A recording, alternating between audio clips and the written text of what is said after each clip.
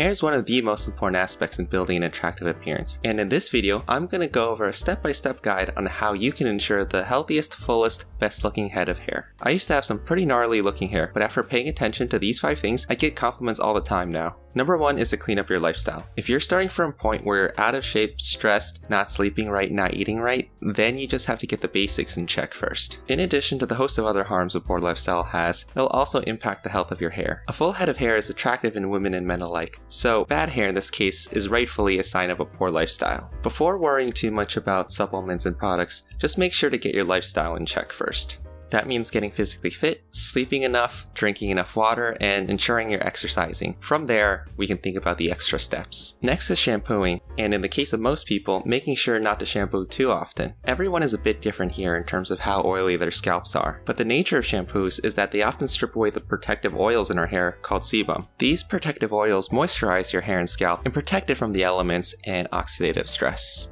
Shampooing is a necessary part of hygiene to keep your head clean, but doing it too often can leave your scalp and hair brittle and dry. A good rule of thumb is one to two times a week. In terms of choosing the right shampoo, make sure to choose a shampoo where the active ingredient is ketoconazole. Ketoconazole is an antifungal drug that has a huge range of benefits for your hair and scalp. First off, it can treat scalp acne and also remove dandruff from oily scalps. Secondly, ketoconazole can actually reverse hair loss by preventing the buildup of DHT in your hair follicles. DHT is the hormone that contributes to male pattern baldness and hair loss, so using ketoconazole shampoo will guard against this. The downside with ketoconazole shampoos is that it can dry your hair and scalp even more than normal shampoos will. That's why post-shampoo hair care becomes even more important in this case. Which brings us to the next topic of conditioning. Conditioners are products that help restore moisture to our hair. In contrast to shampoos, in-shower conditioners can generally be used as often as you want since they act as synthetic moisturizers or sebum for your hair. Deep conditioners or hair masks also exist that you leave in your hair for 20 to 30 minutes to give it an extra hydration boost. I also recommend applying leave-in conditioners or hair lotions in your hair at night before you go to sleep so that can hydrate your hair overnight before you wash it off in the morning. Leave-in conditioners can also be used during the day if you don't mind them and they don't impact how you style your hair. Blow drying your hair can also cause damage to your hair due to the high heat, and so there are blow drying lotions you can also apply to your hair to protect it from heat damage. These can be left in your hair afterwards, just like leave-in conditioners. If you want to take your conditioning to the next level, you can apply hair oils to your scalp as well, leaving them on overnight. This is especially useful after you shampoo, as applying straight oils will be more effective and potent than conditioners generally. The relevant oils here are castor oil,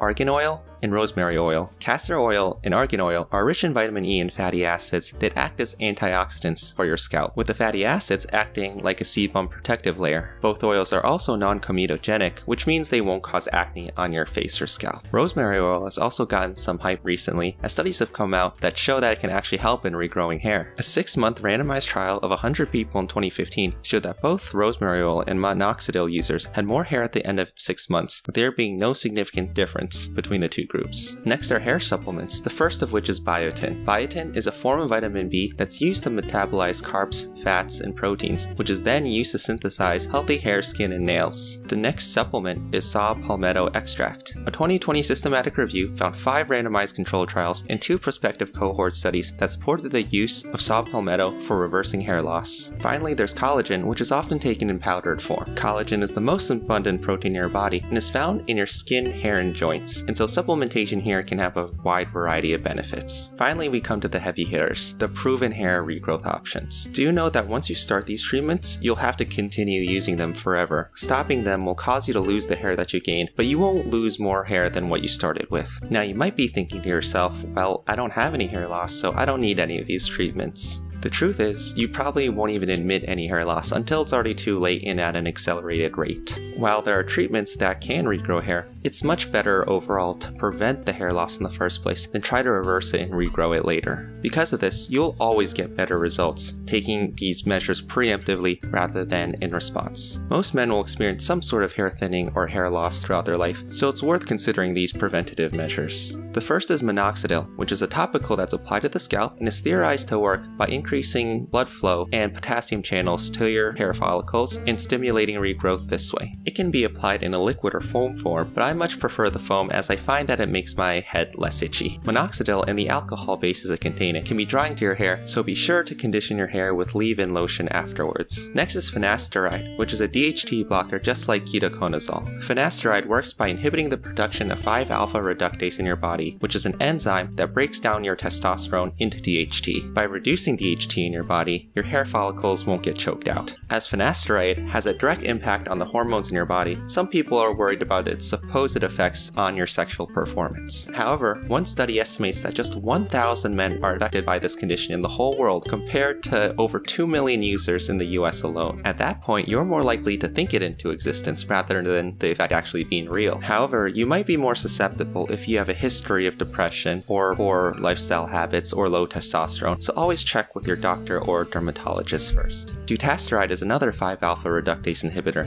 that's even more potent than finasteride. In comparison to everything else in this video, nothing else comes close to the power of dutasteride or finasteride in growing your hair or regrowing your hair. Both of these drugs address the underlying causes of hair loss rather than just treating its symptoms. For finasteride and dutasteride, however, you'll need a doctor prescription in order to get them in the US. And in the case of women, you should definitely not take either of these drugs because they can cause massive birth defects. I get my finasteride from Hims, which you can do completely online. I've included a referral link below, as well as affiliate links to the products that I mentioned in this video in case you're interested. That's it for my step-by-step hair care guide. Be sure to check out my other videos for more self-improvement ideas and give me a subscribe and comment down below.